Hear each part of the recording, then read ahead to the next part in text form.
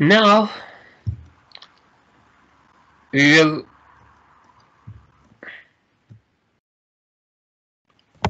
do our class exercise on Nissen et al. 1997. I had already briefly talked about this when I was doing an overview of the examples of metabolic network uh, based uh, flux predictions from 90s. So the paper was published in 1997, a paper by Jens Nielsen's group, and it is on uh, anaerobic Saccharomyces cerevisiae. This is the a screenshot from the abstract and yeah the abstract of the paper. Let's read the abstract. it says that a stoichiometric model describing the anaerobic metabolism of Saccharomyces cerevisiae during growth on a defined medium was derived. The stoichiometric matrix consists of 37 pathway reactions involving 43 compounds, of which 13 were measured. And here you see the list of measured rates. They were able to measure so many rates. and the model was used to calculate production rates of malate, fumarate, and ethanol to validate the model.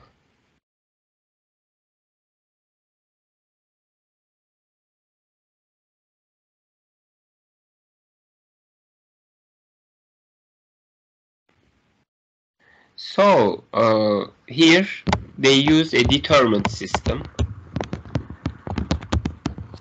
They have so many measured rates and they have a small system, they have enough measured rates to make the system determined.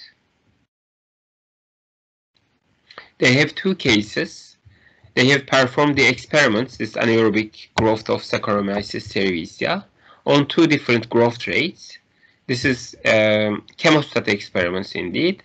One was performed at a dilution rate of 0.10, the other was performed at a dilution rate of 0.30.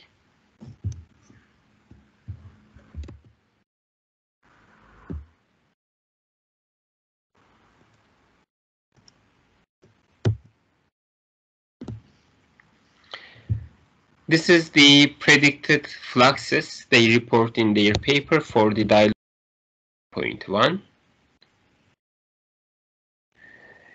I have already talked about this before. These early examples most of the time use carbon mole concept. Here too, the fluxes are reported in terms of carbon moles. So by using this carbon mole concept, you easily see that if there's 100 units of glucose consumed, about 6% of 6 of it is going to pentose phosphate pathway, 90% of it is going to glucose for glycolysis, for example. 50% is going to the ethanol production, 9% is going to the glycation, etc. And 2% about is going to the TCA cycle. So you can nicely see how many percentage of the carbon is going to which pathway.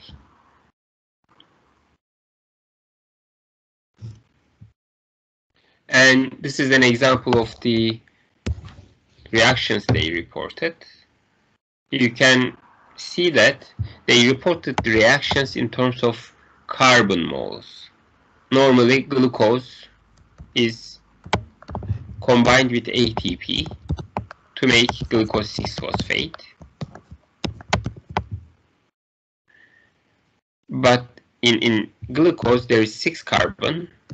So they wrote all the reactions in terms of single uh,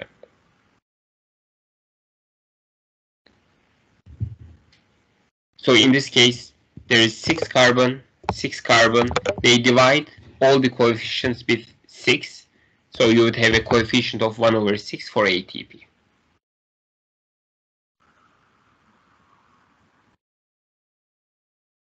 Or here, let's look at the reaction 14, a reaction in pentose phosphate pathway.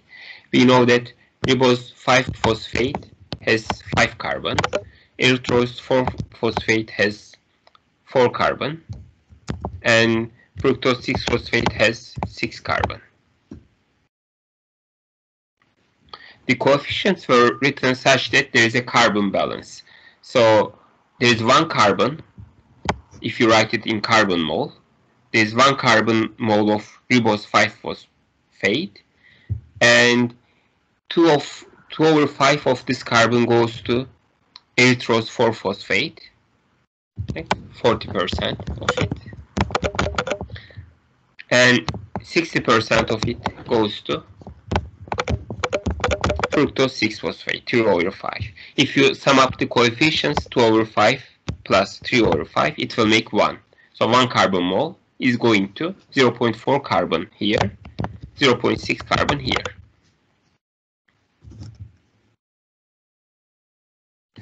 And here they have a note. They say that compounds in bold letters are included in this stoichiometric matrix.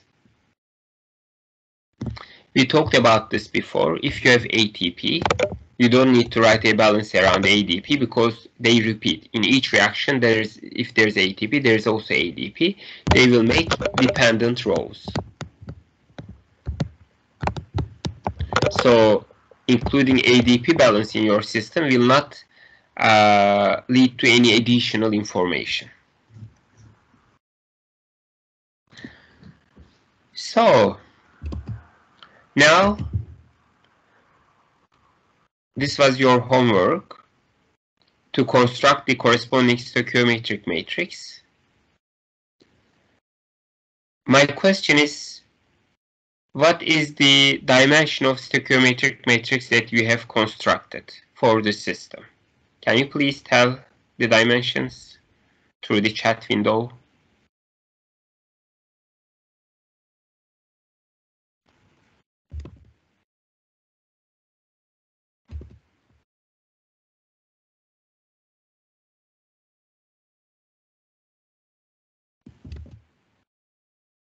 One group said their dimension is 45 times 44.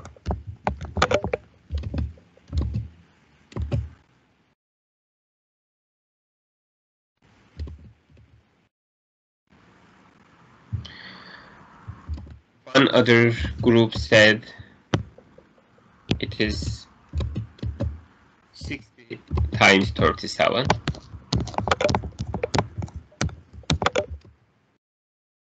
And the other group said it is 43 times 48.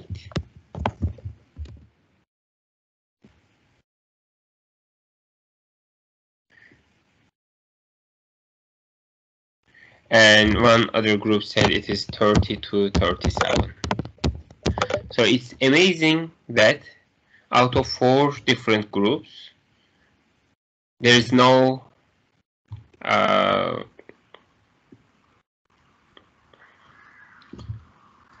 common results. They all reported very different stoichiometric matrices.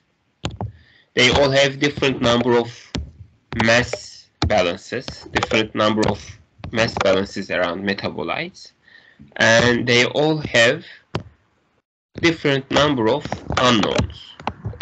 Well, we have 37 here again. So, in this session, we will try to understand why we have these uh, differences and uh, how we can uh, solve the problems in defining stoichiometric matrix, if any. If we check the reaction system they report, they have 37 reactions. So this 37 is coming from there.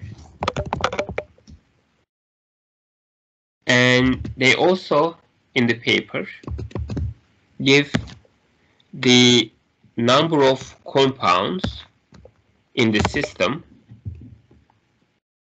just above the reaction list, and it is 43.